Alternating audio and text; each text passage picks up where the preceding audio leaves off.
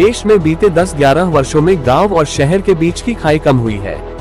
अब गाँव के लोग भी शहरों की तरह ही खर्च कर रहे हैं। इस दौरान लोगों का खाने पर खर्च कम हुआ है, जबकि बाकी चीज़ों पर बढ़ा है। इस दौरान देश में गरीबी भी कम हुई है। यह सभी जानकारी केंद्र सरकार द्वारा जारी की गई एक रिपोर्ट में सामने आई है। देश के परिवारों द्वारा किए जाने खर्चे को लेकर किए गए पारिवारिक उपभोग व्यय सवे के आंकड़े जारी किए हैं।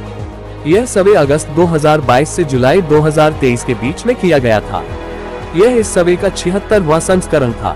इसमें कई महत्वपूर्ण जानकारियाँ निकल कर आई हैं। इस रिपोर्ट में एक व्यक्ति के प्रतिमाह खर्च को लेकर जानकारी दी गई है। इसमें गाँवों में रहने वाले और शहरों में रहने वाले लोगों का अलग अलग आंकड़ा दिया गया है। नई रिपोर्ट के आंकड़े दर्शाते हैं कि गाँव और शहर के खर्चे के बीच की खाई भी कम हुई है।